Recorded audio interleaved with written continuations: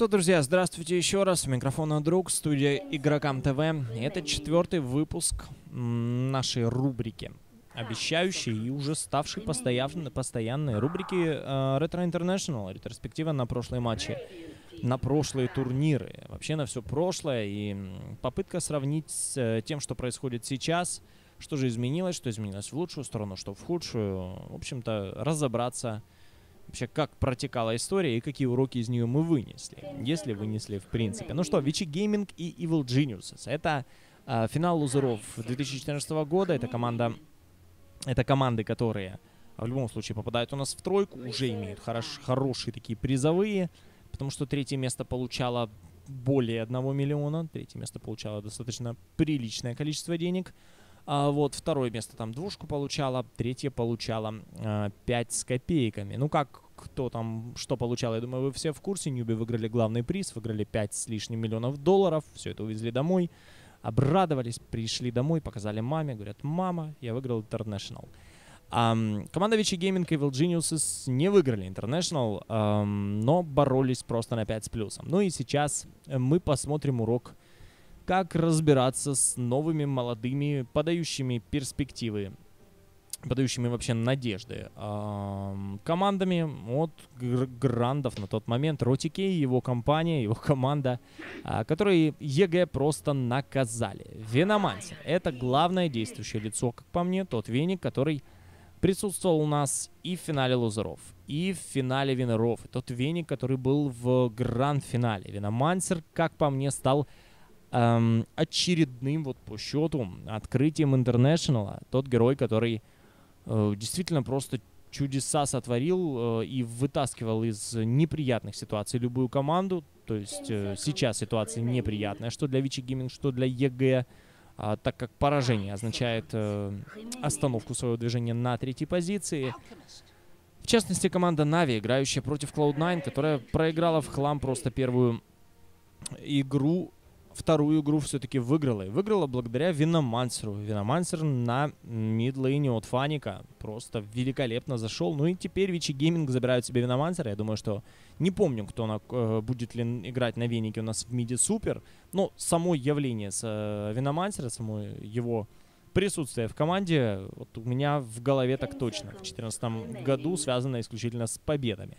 Timbersaw от команды EG. Удивительно, но факт. Faceless Void, Энигма, Мирана, Timbersaw и Алхимик. Алхимик, скорее всего, опять для PPD. Алхимик как саппорт. Я думаю, что Артизи на mid lane, скорее всего, заберет себе Timbersaw. А, Faceless Void у нас для Юниверса, конечно же. Хотя Мейсон на Timbersaw тоже может смело пойти, а Артизи, например, может на Миране отыграть. Ну, я не помню, как там все было. Сейчас посмотрим. Ну и последний пик от команды Vici Gaming. Супер забирает себе Dragon Knight а. Значит, Веник у нас будет немножко в других степях пастись. Сейчас увидим, где да как. По пику команда Vici Gaming забирает себе Nature's Prophet. Nature's Prophet для Сайлера третью игру из трех. Фенрир будет играть на Shadow Demon, Лешак для FY. Dragon Knight это супер и rOtK на Веномансере. Вот так вот распределились роли со стороны команды Evil Geniuses. Юниверс забирает себе Timbersaw. Вот так вот приехали. Мейсон будет играть на Faceless Void.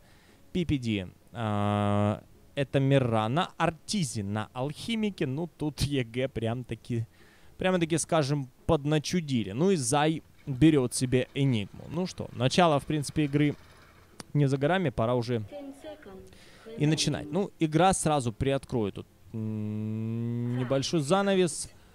Uh, игра будет достаточно быстрой, стремительной, и команда Vici Gaming uh, тут просто задавит команду EG. Это, конечно, обидно, так быстро заканчивать решающие матчи. То есть, э, я думаю, что EG хотели бы здесь до последнего бороться, но здесь даже и до последнего нет смысла бороться, потому что последнее настанет достаточно uh, рано для команды Evil Geniuses. Артизи на Алхимике отправляется на midlane. Мейсон на Фейслес Войде пойдет у нас фармить легкую. Юниверс на Тимберсоу, по идее, должен сложную отправиться. Зай вместе с PPD эм, должны отправиться в легкую линию и помогать Мейсону. Немного у меня есть, конечно, вопросы к выбору Мираны. Если Мирана у нас э, в пике, то, скорее всего, и Мирана как саппорт, то, скорее всего, Мирана это будет э, со стрелами. Если не промакшенными, то в любом случае в пер на первых минутах в приоритете. Попадать просто так э, стрелой Мираны, это просто непросто. Тут нет ЦМки, тут нет Shadow Демона. В пике команды EG нет, в принципе, э, кто там еще? А, тот же Бейн под Мирану идет великолепно. Просто зафиксировать кого-то, а после этого дать стрелу нормальную. Этого всего нет, э, вот поэтому, я так понимаю, надеется команда EG на точность самого PPD и на прямоту его рук. Получится, не получится. Ну, глянем, как получится. В нем ли причина была или не в нем, узнаем. По расстановке лайнов команды Vici Gaming. Super э, на Драгонайте отправляется в midlane и будет стоять против Артизи на Алхимике. В принципе, э, до шестого левела Алхимику тут не сладко будет. Sylar против эм, триплы будет стоять на легкой линии. Уже здесь Юниверс, уже здесь Зай, и в соло одного отправляют Мейсона. Как можно быстрее выносить э, шестой левел, а дальше начинать драку. Ну и уже здесь стоит FY, уже здесь стоит Фенрир в инвизе. Shadow Demon с инвизом, PPD видят. PPD у нас отправляется в Disruption. Уже здесь супер. Пошел один стан, пошел второй стан. Бедный, бедный PPD разорвало просто на месте. Ну и стоит Артизи близко даже не подходит, потому что что вообще там ловить? Непонятно, что там ловить PPD и не планировал. PPD здесь стал для фарма, для быстрого левела, чтобы как можно быстрее э, заработать необходимые артефакты, левел и тогда хоть что-то сделать вот против команды Vici Gaming. Venomancer от rOtK. Соло, Venomous Gale есть, Poison Sting есть. И просто настреливает по Мейсону и издевается над ним. По большому счету, вот, Ротикей может себе позволить. В принципе, Веник здесь для Мейсона прям вообще неприятность абсолютно. Если Веники у нас Темпларок загоняют на мидлине, то что тут говорить против милишного героя? Еще и не на мид-линии, а на линии более-менее длинной, которая, как понимаете, достаточно неприятно. То есть э, далеко надо от Абра отходить войду, если вдруг линия сломалась для него. И там rOtK на этой лейне настрелять-то все-таки сможет. С AWP у нас rOtK, конечно, на лейне он настреливает. А где, кстати, AWP шник наш главный, PPD? PPD отправляется на top lane. Ротикея видит. Стрелы у Мираны нет. Стрелу Мирана не вкачала, потому что PPD у нас leap прокачал после того, как его в disruption отправили. Думал, будет возможность убежать. Там просто по э, таймингу на ура сыграла команда Vici Gaming. Две минуты уже позади. По золоту VG впереди на 600, по экспириенсу они впереди на 300. Юниверс на соло стоит сложный. Тоже, кстати, достаточно интересный пик, и я считаю, что не... Э, как это сказать, а, ну, то есть неоправданно ушедший э, из меты нашей, вот, то есть пик такой, который э, можно было бы использовать и сейчас, и сегодня, и, и тоже не проблема, я думаю, было бы стоять э, с таким, ну, вот, с данным героем, стоять на сложной, стоять против любого героя, Потому что физуху э, Тимирсов переживает на 5 с плюсом. По ХП тоже у него, в принципе, проблем-то никаких. Основная характеристика у него сила и прирост ХП, видите, неплохой. На ХП нифигища нету. Тут на ХП только Iron Branch дает э, плюс один к силе. И все. И при этом на четвертом левеле 700 хп. Как там алхимик? У алхимика 758, тоже четвертый левел, но у него два Iron Branch. Короче, та же история что с алхимиком. Ну, понятное дело, что, естественно, физ дэмэджа за счет Reactive Armor здесь меньше вливается. Юниверс пошел нарезать по Сайверу. Порезал его. Tower на себя не агрит. Timber Chain есть еще раз. Через секунду будет пила. Юниверс просто гуляет у нас за Сайвером. Еще один Timber Chain. Ну и Sylar здесь на low хп. И Sylar неужели сможет все-таки уйти? Да все-таки смог. Sylar здесь просто чудом каким-то спасся. Ну и ты, вы, вы видели, как Тимберсу отыграл. Был бы kill здесь от Юниверса, может быть, все пошло бы иначе. Но пока VG впереди. По фарму на первом месте у нас rOtK. У него 23 на 7. Причем rOtK из тех ребят, которые даже свои варды не отдает, который вардами динает варды. Заставляет варды самих себя просто убивать и заниматься каннибализмом. Роти Кей, конечно, скилловой, безусловно. Ну, это не новость ни для кого. Знают об этом взрослые и дети. Команда Вичи Гейминг уже в том же составе, что и в начале игры, когда забирали PPD уже на мидлейне и готовы, я думаю, на этот раз либо PPD, либо Артизи, кого-то из них наказать. Тогда мейнстримом было писать Too Easy for Arteezy. Я думаю, насколько вы помните. Вот, так в этой игре вообще не easy было. И даже близко не изи. Тут команду EG напрягли очень даже уверенно VG. Ну и тоже, посмотрите, они не пушат, они до пятой, там, до шестой, седьмой минуты обычно вели себя пассивно. Что они, что Newbee. Newbee, мне кажется, по той же тактике, что VG шли, просто э, лучше немножко ее реализовывали. Они как-то э, развились в этой тактике. А тактика следующая. Команды зарабатывают вот ранние артефакты достаточно быстро. Базилки, э, арканы, а, хедрески у кого-нибудь? Где, где? Нету, нету, нет. Не вижу, не вижу, не вижу. Но вообще обычно это какая-то хедреска, это какой-то баклер у кого-то. И просто идем и бьем. Просто много, много шлака насобирали. Этим шлаком забросали а, своих оппонентов. Хилки у всех, какая-то минимальная вообще помощь, но при этом всем. Плюс туда залетали еще и чены, которые брали полезных крипов на деф, на хп-реген.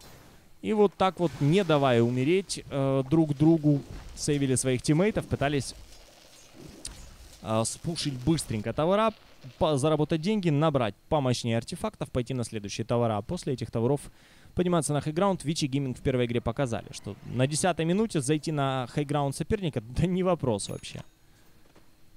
Можно будет повторить еще раз, дадут повторить, повторим. По фарму 39 на 11 Venomancer, 32, даже 33 на 5 Universe. Супер на третьем месте 27 на 11. И Arteezy, в принципе, еще и неплохо смотрится. У Arteezy четвертый э, creep stat на карте, 24 на 11. Стрела у нас Фенрира полетела, не попадает. Ну и Fenrir Disruption отправляет у нас э, Алхимика. FY немножко тут э, переусердствовал. Но, с другой стороны, если бы вдруг Shadow Demon не успел бы у нас Disruption отправить Алхимика, Алхимик стоял бы в stun е. Забирать э, Vici Gaming точно не могли Алхимика вместе с PPD, поэтому так уже на всякий случай про use али все одновременно, лишь бы уйти целым из этого fight а. По gold е Vici Gaming 2,5 выигрывают, По experience у они выигрывают чуть более 1000.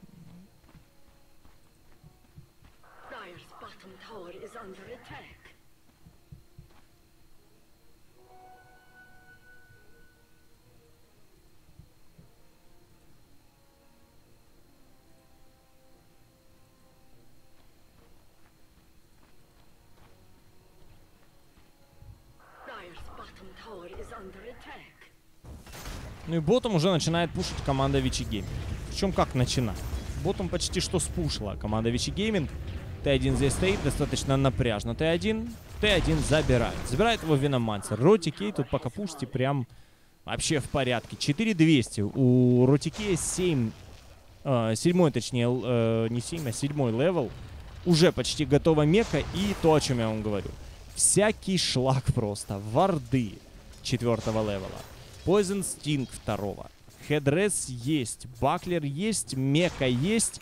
8 минут. Мека. Arcane Boots ы. Всякая мишура вообще от команды Vici Gaming. Просто идем и просто заваливаем соперников всем вот этим... Э, всей этой бесполезностью. И в итоге это дает все-таки по чуть-чуть. Тут с миру по нитке. И спушили все необходимое. И вот бегает у нас PPD, у него возможности даже что-то купить нету. Единственный тапок себе купил и два Iron Branch. То есть бесполезный вообще, если в каком-то близком fight е у нас Мирана. Четвертый level для него. Ну и так, э, собственно, стрелой попал хорошо. Не попал стрелой, просто уходи, не, не сливайся. Arteezy пошел farm ить ward ы. Arteezy было бы все хорошо, если бы тут э, greed был прокачан. Но Arteezy без него идет, так что бить варды даже как-то и бесполезно. У него уже фейсбутсы есть, у него есть ботл, есть танго, ну и мидлейн алхимик, в общем-то, неплохо зашел. Uh, вроде бы все нормально, но с другой стороны, вот пятый нетворс на карте меня немножко напрягает. Я понимаю, что алхимик uh, со старта не должен так много фармить, но мили алхимик стоял против мили драгонайта, можно было и как-то немножко попотеть поплотнее. Ну, еще один ward здесь от команды Vici Gaming. Вроде отводы все на 5 с плюсом делал у нас PPD. А это не сработало. И продолжение. Вот э, команда Vici Gaming, Энты от Сайлора. Ward ы сейчас должны быть где-то от нашего rOtK а. rOtK тут заплевывают ward ами, все потихонечку. У rOtK а есть мекан, нет на нее, правда, маны. Потеряли ДК, но Мейсона здесь заберут. Меку rOtK пока не use ает, а пора бы. Пора бы и крипов тут подхилить, да и всех подхилить и идти пушить дальше. Тавр сломали. У Nature's Профита через, э, через, через 3 секунды будут новые энты. И даже Меку не юзает, а на Ротикей. Просто отходят, сломали тавр. 2-1 счет, 10 минут, счет 2-1. Игра вроде бы не агрессивная, а линии пушатся просто как чокнутые. То, что Вичи Гейминг знает, что он... Знают, что они хотят от этого матча, знают, что у нас на кону. А, и ведут себя нагло, потому что видят свою цель и к ней идут, на самом деле, огромнейшими шагами. То есть сейчас ситуация э, жуткая для команды EG. Они 5000 проигрывают по золоту на 10 минуте. По experience у вроде бы и выигрывают, но gold а это артефакты. Артефакты это возможность выживать. Возможность выживать это возможность также и убивать своих соперников. А убивать соперников, это получать экспу. Круг замкнулся, команда э, Вичи Гейминг просто впереди сама по себе, так что плюс здесь безусловно.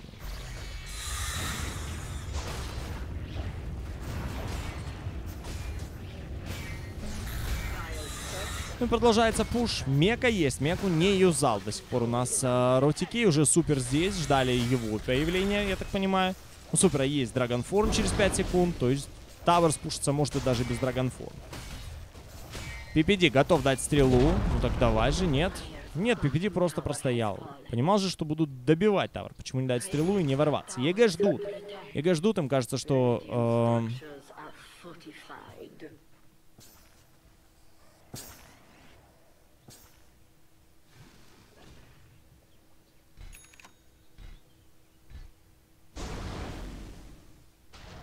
А, EG ждут, что, в принципе, все будет хорошо. Может быть, пронесет их. Пока вроде как не похоже на это. Пока, конечно, тут э, VG давят и... Ну и додавят. Собственно, это не секрет, конечно. Да, VG все-таки додавят данную историю.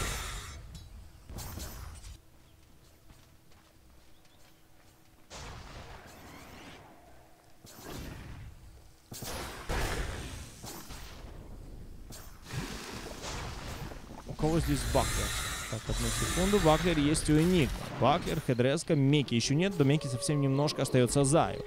А вот у Виномансера после Меки еще и Point Booster, еще и 1100 на руках для Рутики. Очень скоро появится Аганим. Как дальше драться против Аганима на 15-й минуте, ну или какой-нибудь там 16-17, я даже, честно говоря, и не представляю. Вичи Гейминг 6 или даже 7 тысяч выигрывает по золоту, по experience у 2 с копейками. Ну, не знаю, мне эта комбинация, конечно, и вообще такая тактика удивительна. То есть как так слаженно можно на ранних левелах драться. Все это вызывает действительно уважение, и тут э, требуется skill. То есть вы farm ить, превратиться в какого-то суперубийственного парня и в пятерых таких вы farm ить и в пятером идти просто героями, которых попробуй слей.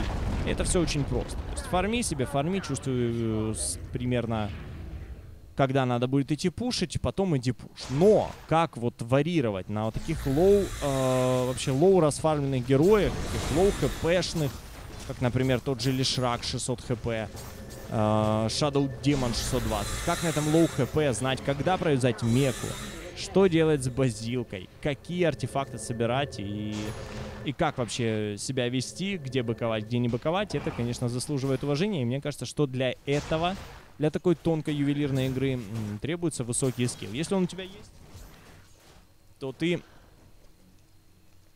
собственно, выигрываешь. Ну и rOtK со своей командой продемонстрировал это. EG оказались к этой игре не готовы, а вот Newbee оказались готовы. И Newbee в этой игре даже Vici Gaming превзошли. Там в эту же доту они обыграли своих соперников. В эту же. Никакую другую. Вот этот ранний пуш, раннее давление на все лайны – замеса на мидлейне, но они там от rOtK еще и от э, Vici Gaming, в принципе, не оставили и следа, потому что задавили их не только каким-то пушем, но и фрагами. Vici Gaming знали, как бороться против пуша, просто оказались слабее. Они навязывали драки, они сражались за каждый тавер, потому что они понимали, что так как они спушивали тавера, получали преимущество, так же могут поступить и с ними. За тавера надо было драться. Они тоже набирали этот хлам, который на ранних левелах э, готов драться и убивать. Но просто оказались в файтах слабее, и там где-то что-то не, не доиграли. Ну, Ксяуэйд свое дело знал, Ксяуэйд долго к этому шел, и Ксяуэйд к этому пришел. Пока там падает Роха для команды э, EG, в это время падает еще и Тавер на мидлейн. Я думаю, что Роха, кстати, может и не упасть. Юниверс э, танкует, Артизи танкует, Эйсид спрей, ну и что, и дальше, и дальше падает мид. А здесь команда фармит Рошана. Рошана заберут, конечно, но Тавр на мидлейне уже проседает. Э, по хп плотника Юниверс летит на базу. Ну и прилетай. Почему бы и нет. Рутики с мека, Рутики меку не юзал. Рутике осталось 700 копеек до Аганима. У него Poison Nova первого левела. В принципе, пока что Аганима нет и не будет. Ничего страшного. Ну и э, Arteezy моментально ткнули вард. Arteezy у нас в инвизе. Arteezy увидели. Супер останавливает Мейсона. Мейсона, правда, дэмэджа ни хрена нет. Arteezy развалили. Вот вам, пожалуйста, и Рошан с Аганимом. Никакого Аганима у команды EG нет в принципе. Universe умирает. Ну и rOtK просто издевается над командой EG. Убивают Arteezy второй раз, забирают у нас Юниверса. Мейсон отсюда убегает на low HP. zai. Зай без хп. PPD. Не знает, куда дать стрелу. Мидлейн падает. ГГ ВП. Ну, собственно, вот так вот. Вы понимаете, вот это 15-минутка, это ситуация... Вот эта 15-минутка решила судьбу одного с лишним миллиона долларов. Просто потому, что Роти Кей со своей командой знал, чего хотел, знал, как реализовать свою комбу. Команда EG не знала, как против... что вообще противопоставить данной комбинации, но остались без денежек. Ну, с денежками, но поменьше образцом. Ну, вот такая вот дота. СНГ команд здесь не было, была Америка против Китая, и так тоже можно играть. И не просто играть, а так выигрывались миллионы, поэтому а, что делать? Я учусь на этом, и вы учитесь. Вещи более чем полезные. Ну что, выпуск 4 нашей рубрики «Постоянная ретро International» подходит к концу. Разбирали в этот раз э, финал лузеров 2014 года. Дальше, я думаю, окунемся куда-нибудь э, подальше по календарю. Я думаю, что может быть 13 может быть даже 12 год у нас будет э, в дальнейшем выпуске. Следите за всеми нашими анонсами в группе ВКонтакте. Подписывайтесь на наш канал на Твиче. Это была студия Игрокам ТВ. У микрофона друг. Меньше играйте в доту, больше читайте книг. Услышимся.